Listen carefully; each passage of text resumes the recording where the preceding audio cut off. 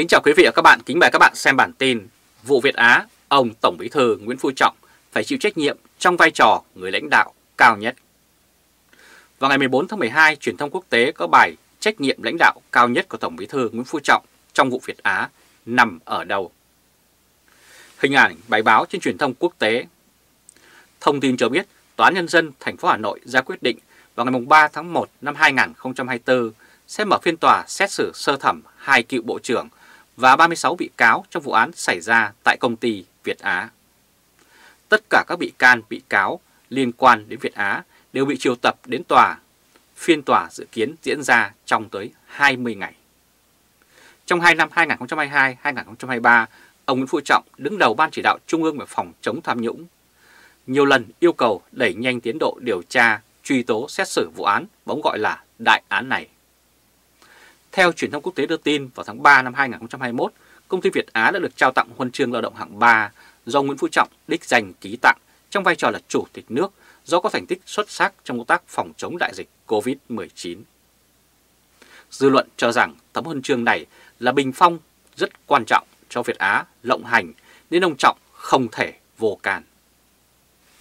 Hình ảnh chiếc huân chương lao động hạng 3 ông Tổng Bí thư Nguyễn Phú Trọng đã ký tặng cho Việt Á.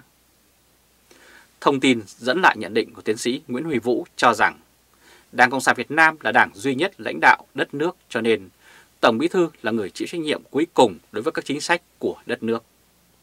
Nếu Đảng Cộng sản tự hào với những cái gọi là thành tựu của họ với đất nước, thì một cách công bằng họ cũng phải chịu trách nhiệm với các sai lầm và tang thương mà họ đã làm với dân tộc. Đại dịch COVID-19 là một cuộc khủng hoảng lớn của quốc gia.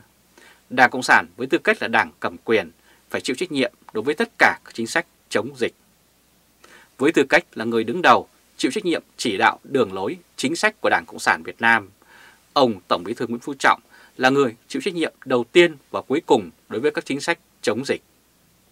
Và việc cho phép triển khai kit xét nghiệm Việt Á với các cơ quan của các bộ liên quan chắc chắn phải được thông qua ở cấp cao nhất trước khi tiến hành. Và như vậy, ông Tổng Bí thư Nguyễn Phú Trọng phải là người chịu trách nhiệm trực tiếp. Còn nếu ông Tổng Bí thư cho rằng ông không được tham vấn đầy đủ, không trực tiếp chỉ đạo, thì lỗi của ông là người lãnh đạo đã không chu toàn hết trách nhiệm của mình. Với những sai lầm trong đại án Việt Á làm chết rất nhiều đồng bào trong cả nước như vậy, ông Tổng Bí thư đúng ra phải bị kỷ luật rất nặng hoặc thay thế và bị điều tra cho những hoạt động lãnh đạo chính sách sai lầm của mình. Đến nay, lãnh đạo Việt Nam vẫn hô hào về thắng lợi trước đại dịch COVID-19, bất chấp số người chết, số đại án đã xảy ra trong đại dịch và hậu quả mà nền kinh tế của cả nước đã phải gánh chịu sau đại dịch. Đồng quan điểm, truyền thông quốc tế dẫn lời luật sư Vũ Đức Khanh cho rằng vụ án Việt Á không chỉ đơn thuần là một vụ án tham nhũng, trong đó một số quan chức tham nhũng đã bòn rút ngân sách của nhà nước, móc túi doanh nghiệp và của nhân dân cả nước mà còn có dấu hiệu thao túng, giàn dựng có hệ thống, bài bản của nhà nước. Đây rõ ràng là một thao túng về chính sách của cả một hệ thống chính trị từ trên xuống dưới. Vấn đề có thể đã lên đến đỉnh điểm trong hệ thống quyền lực chính trị tại Việt Nam. Vì vậy, nếu một lãnh đạo cấp cao nào đó tiếp tục khẳng định rằng tay mình không hoặc chưa bị nhúng chàm, thì điều đó có ý nghĩa gì hay không?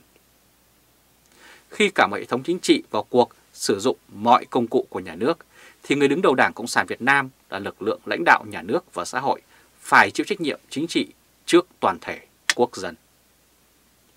Theo tôi, người chịu trách nhiệm chính trị cuối cùng trong vụ án Việt Á chính là ông Tổng Bí thư Nguyễn Phú Trọng, chứ không phải ai khác cả. Truyền thông quốc tế cũng dẫn lời quan điểm của luật sư Nguyễn Văn Miếng nói rằng đại dịch COVID-19 là một đại dịch, chính ông Trọng là người kiểm soát toàn bộ Mặc dù dưới ông có nhiều cấp, cho nên mọi việc diễn ra ông Trọng phải biết. Hà cớ gì mà ông Trọng vô can khi để cho Việt Á tự tung tự tác một thời gian rất dài đến như vậy. Tôi chưa nói đến trách nhiệm hình sự, ít ra ông Trọng phải chịu trách nhiệm về mặt buông lòng quản lý. Quý vị và các bạn vừa theo dõi chương trình truyền hình trực tiếp của Thời báo chấm với bản tin Vụ Việt Á, ông Tổng Bí thư Nguyễn Phú Trọng phải chịu trách nhiệm trong vai trò người lãnh đạo cao nhất. Quý vị và các bạn hãy chia sẻ video này cho nhiều người biết và bấm nút theo dõi YouTube và Facebook của Thời báo.de để luôn được cập nhật những bản tin mới nhất, nhanh nhất và trung thực nhất. Từ Berlin, Cộng hòa Liên bang Đức chào các bạn và hẹn gặp lại các bạn ở bản tin lần tới. Trung Khoa Thời báo.de Kính chào quý vị và các bạn, kính mời các bạn xem bản tin Việt Nam không thể tin Trung Quốc. Trên truyền thông quốc tế có bài Việt Nam cần cảnh giác trước lời lẽ đường mật của Trung Quốc. Tại đây đã dẫn nhận định của các nhà quan sát cho rằng những ngôn từ của Chủ tịch Trung Quốc Tập Cảnh Bình về cộng đồng chia sẻ tương lai mà Hà Nội đồng ý gia nhập với Bắc Kinh toàn là những lời hay ý đẹp, nhưng quan hệ giữa hai nước trên thực tế thì lại khác hẳn. Bài báo được đăng trên Đài tiếng nói Hoa Kỳ. Truyền thông cũng dẫn lời giáo sư Abusa, nhà nghiên cứu chính trị của Việt Nam thuộc Đại học Chiến tranh Quốc gia Hoa Kỳ cho rằng cộng đồng chia sẻ tương lai có phạm vi rất rộng với các nguyên tắc rất mơ hồ nhằm thực hiện quan điểm về trật tự thế giới lấy Trung Quốc làm trung tâm. Hà Nội cần phải hết sức cảnh giác trong việc ủng hộ cộng đồng này hay những đề xuất khác về trật tự thế giới với ngôn từ mơ hồ một cách cố ý.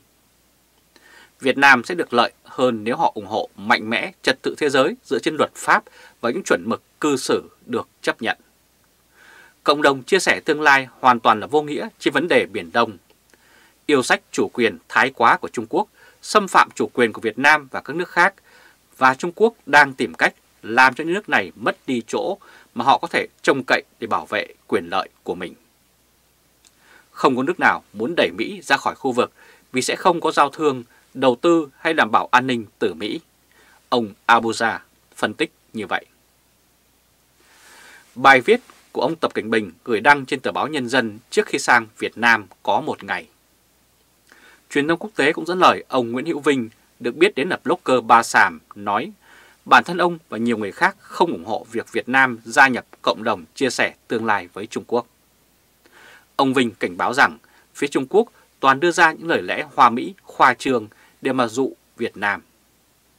Nhưng lời nói của họ không đi đôi với Việt Nam.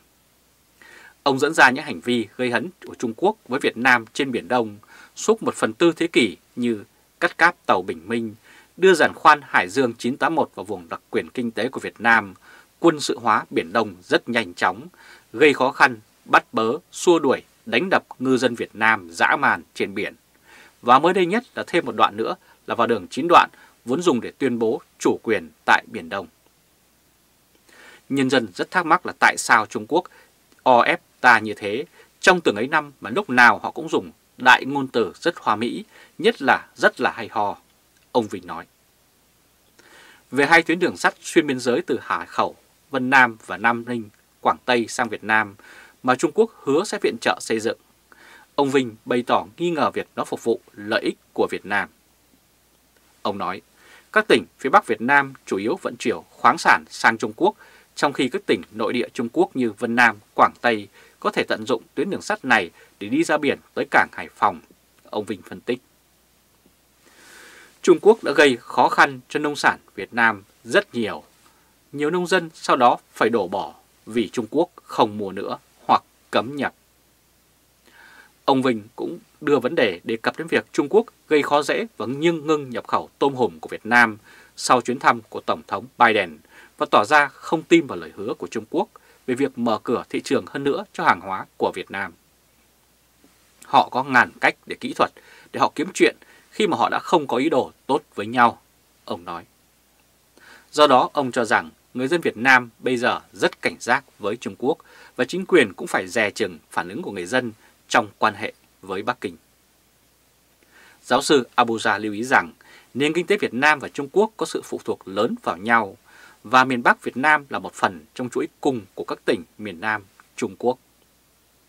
Việt Nam rõ ràng đang lo ngại về việc nền kinh tế và xuất khẩu của Trung Quốc đang chậm lại có tác động như thế nào đối với Việt Nam.